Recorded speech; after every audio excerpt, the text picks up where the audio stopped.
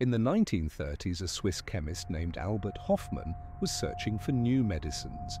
He worked for a pharmaceutical company called Sandoz, studying chemicals found in a fungus that grows on rye called ergot.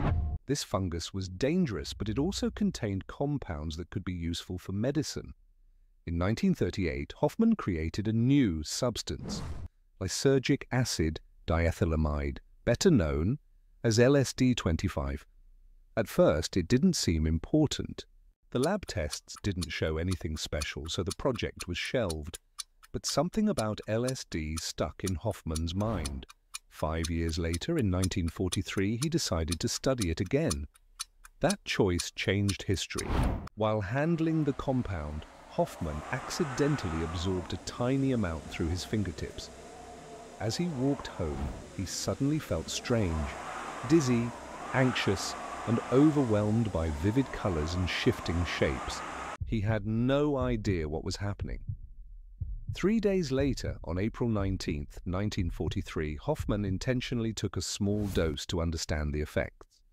As the substance took hold, he began what is now known as the world's first LSD trip. Accompanied by his lab assistant, he rode his bicycle home, a moment that became legendary as Bicycle Day. What Hofmann discovered was not a medicine, but one of the most powerful psychedelic substances ever known.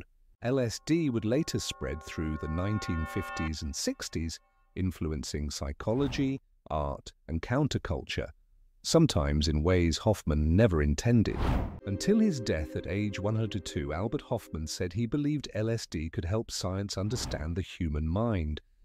But he also warned it should be treated with deep respect.